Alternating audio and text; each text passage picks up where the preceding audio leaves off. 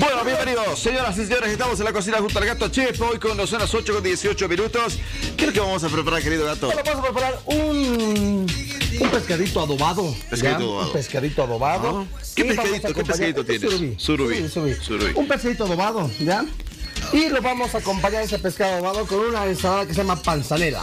¿Ensalada? Panzanera. Muy bien, bueno, Ah, sí, ahí está. Vamos a ver enseguida los elementos que tiene nuestra ensalada. Pero a ver ahora, ¿cuáles serían los primeros pasos que podemos realizar? Primero para- entonces hablaremos un poquito sobre, sobre, el, sobre el pescadito, ¿ya? Muy bien. Aquí vamos a ver, estamos preparando. Aquí yo tenía adelantado un poquitito sobre el, sobre el adobo porque esto tiene que tener eh, bastante. Tiene que tener bastante. eh, ¿Qué les, qué has puesto ahí? Está ahí. eh, o sea, bastante tiempito de macerado. Pues el pescadito adobado, ¿ya? ¿Ya? A ver, vamos a ver. Prepararemos el adobado primero. Que es la primera parte, ¿ya? De la cocina. En la segunda parte vamos a preparar nuestra ensalada panzanera. Muy es bien. muy fácil este adobado, mira. A ver, vamos a meternos en la acción. ¿Qué se hace para el adobado? Pues una copita de vino tinto. Vino tinto. Y vamos a acompañar con agüita, porque si fuera solamente el vino tinto, pues eh, sería muy fuerte y en realidad curaría demasiado el, el pescadito, lo cual no queremos, ¿ya? Muy bien. Luego de eso, sal a gusto, ya sal a gusto. Yo voy a poner un poquito de sal acá, Perfecto. a gusto la sal por acá, pero también vamos a poner salsita al pescadito. ¿Viste el pescadito? También a gusto, ¿no? Sí, sí, sí, sí. En ambos lados. En ambos lados. Muy bien. Luego de eso, ¿qué le vamos a poner? Una palmadita de orégano. Bueno, una palmadita al adobo. Y un poquitito al pescadito también. Perfecto. Ah, estamos, ¿ya? Orégano del pescadito. Posteriormente le vamos a poner igual comino. Una cucharita de comino. Al, al adobo. Y también un poquitito al, Pescadito. al mismo pescadito, ¿ya? Excelente. Vas a ver que está, esto va a ser bonito. Muy bien. Y también le vamos a poner una cucharada de ají colorado sin picante a nuestro adobo, porque es lo que le va a dar un sabor delicioso a nuestro, a nuestro pescado. Una cucharadita así de ají. Bueno, y vamos a mover. Vamos No tiene picante, no era a pensar que se echó mucho, simplemente para dar un saborcito. Es para dar saborcito. Sí, no, si es que no consiguen eh, ají colorado sin picante, de repente podrían poner paprika, que también es como un primo hermano, digamos. Ajá. Y bueno, ¿qué hace con esto? A ver, explicamos bien también esta partecita que es importante. ¿Ya? ¿Ven ustedes estas rayas blancas que hay en el pescado? Esas rayas blancas es el colágeno que tiene el pescado. Esas rayas se llaman miocotomas, ¿ya? Es lo que le da el sabor al pescado. A veces hacemos una sobrecocción del pescado, si por si acaso lo hagamos cocer más, ¿no? eh? Esas rayitas blancas de- y de sabor se evaporan a los 65 grados centígrados. Si sobrecocemos un pescado, vamos a sobrecocer también nuestro adobo o nuestro mm, colágeno y por lo tanto el, pescado pierde su sabor como, como tendría que ser. Por lo tanto, acuérdense siempre que no hay que sobrecocer los pescados. No, llega a 65 grados centígrados, el pescado ya está cocido y todavía mantiene las rayas blancas con su colágeno, que es lo que le da el sabor delicioso. ¿no? Toda la razón. ¿Qué vamos a hacer, señoras y señores? Vamos a poner al adobo. Ya. ¿Ya? Y aquí tiene que estar un buen tiempito, por lo menos media hora, una hora, ¿no? Y de esa manera vamos a eh, tener eh, un rico sabor al pescado, ¿ya? ¿Qué es lo que vamos a hacer? Bueno, esta, esta preparación yo ya la tengo preparadita acá, ¿ya? Ajá. Esto yo, yo al llegar en la mañana ya puse el pescadito para que se adobe, ¿ya? ¿Y qué es lo que vamos a hacer? Cuando el pescado está, está así, sacas del adobo, ¿ya? Y vas a llevar a, a la plancha, ¿ya? Pero plancha fría, recién vas a comenzar a calentar. Ya. ¿Para qué es esto? Para que tenga una óptima cocción casi unilateral. ¿Qué significa casi unilateral? Que el 90% de la cocción va a ser de este lado. Ah, va a ir subiendo, va a ir subiendo, subiendo, subiendo, subiendo, subiendo el calor, ¿no? Y al final le vamos a dar la vuelta Entonces, para que termine de cocer la última parte. Tiene que ser un fuego lento, ¿no? Un fuego lentito. Suave. desde, desde frío ponemos y que vaya comenzando Lento. así, lento, lento. Suave, lento. suave como la brisa. Fuerte como el... Esa es la, la parte que tenemos eh, que hacer para que salga un excelente pescadito. Perfecto, muy bien. Así pues, señoras, señores, yo creo que hemos terminado la primera parte de la cocina del día.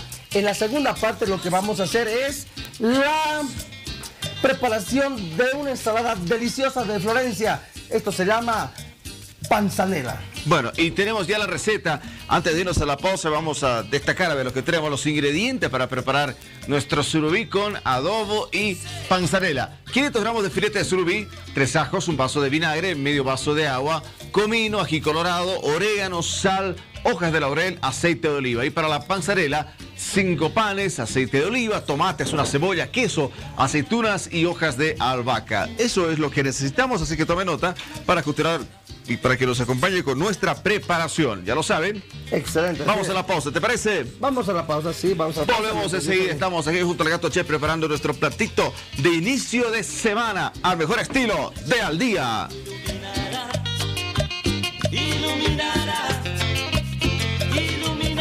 El sector de la cocina fue auspiciado por. Disfruta de tus personajes favoritos con cereales Gris.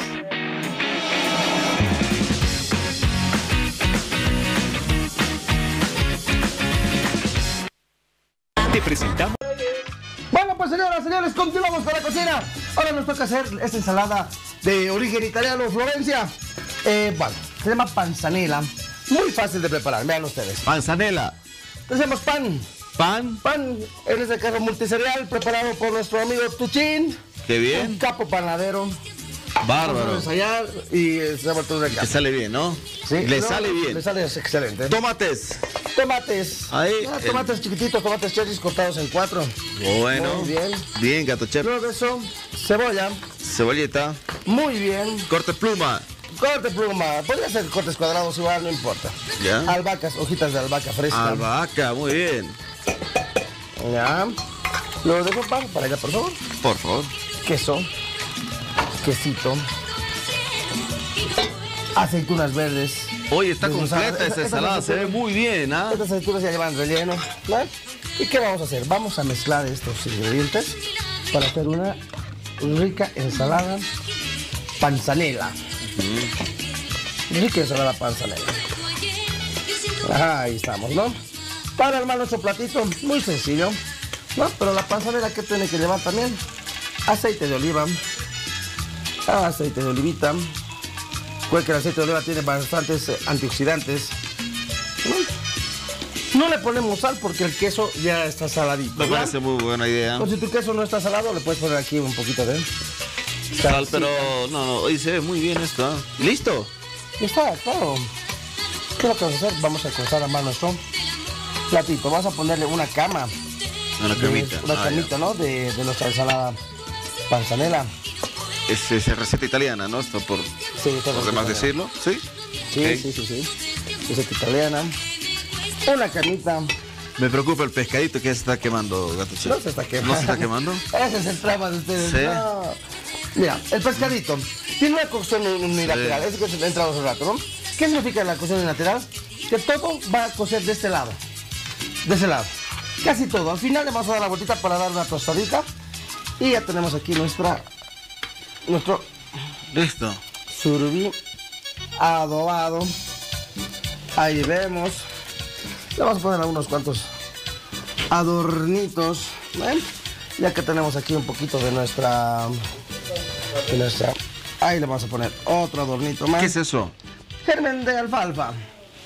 Y de esa manera tenemos un delicioso plato con su ensalada panzanela, su surubí adobado con cocción unilateral y sobre todo lo que tiene este plato, ¿sabes qué es? ¿Qué es? Muchos nutrientes. Sí, y hay gente que dice, ¿cómo, ¿cómo hizo el gato? Me perdí una primera parte, justo estaba despachando a los chicos, algo así. Bueno, tenemos en las, en las redes, en la página del Día Bolivisión, estamos con la receta de nuestro surubí con eh, panzanela. Panzanela, sí, adobado de surubí con panzanela. Muy bien. Recuerden, Muy al bien. día la revista, en el Facebook, le ponen me gusta y ahí te van a llegar todas las curiosidades del programa y también de la cocina el paso a paso. Así que, Perfecto. bueno, pues no te pierdas nunca unas recetas en la cocina del día porque estas recetas se nos hace con bastante cariño, bastante corazón, como decimos, ¿no? Bien, gatito, bien, gatito. Vamos a recordar eh, la propuesta que hicimos a través de nuestro Facebook. La gente